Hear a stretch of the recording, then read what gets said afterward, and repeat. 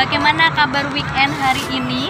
Saat ini saya sedang berada di toko bunga alam segar di daerah Harapan Indah dekat Patung Buddha.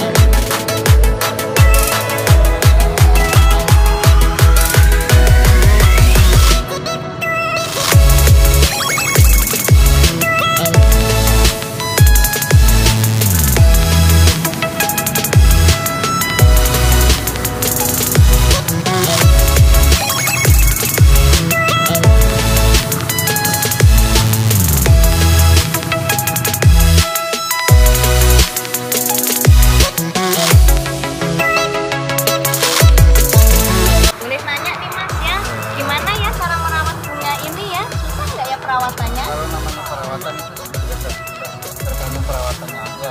Terus cara penempatannya juga cara medianya cara penyiramannya juga. Kalau tempatnya panas boleh. Kalau tempatnya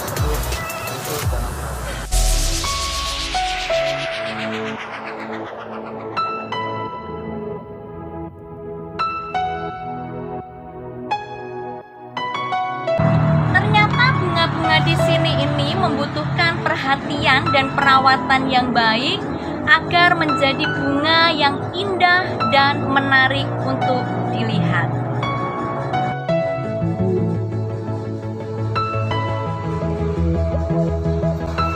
Firman Tuhan hari ini di dalam Efesus pasal 5 ayat 15 berbunyi demikian. Karena itu perhatikanlah dengan seksama bagaimana kamu orang bebal, tetapi seperti orang arif.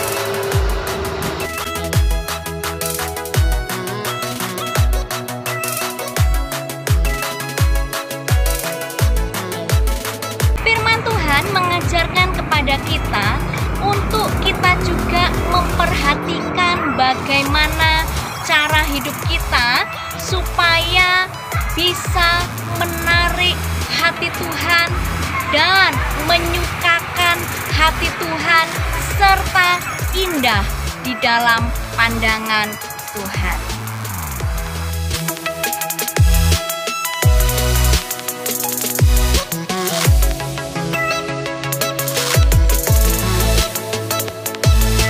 Bagaimana caranya? Yang pertama, kita harus introspeksi diri kita ini setiap hari. Apa yang kita lakukan melalui perkataan, perbuatan kita, sikap kita, apakah itu menyenangkan hati Tuhan dan menjadi berkat bagi sesama atau tidak? Yang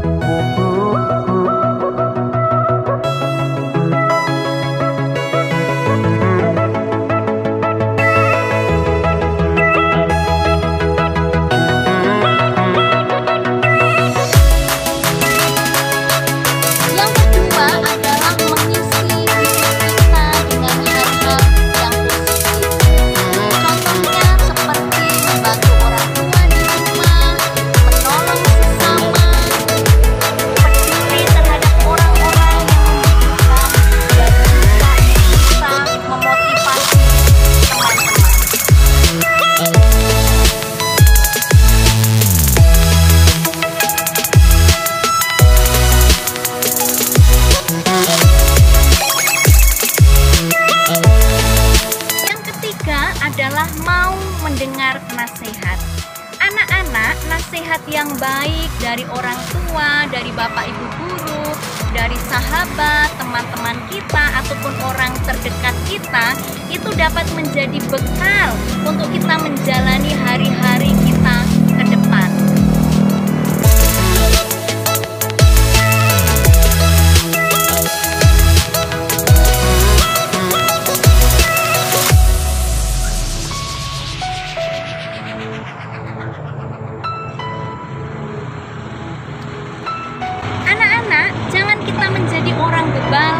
tetapi jadilah orang yang arif, sehingga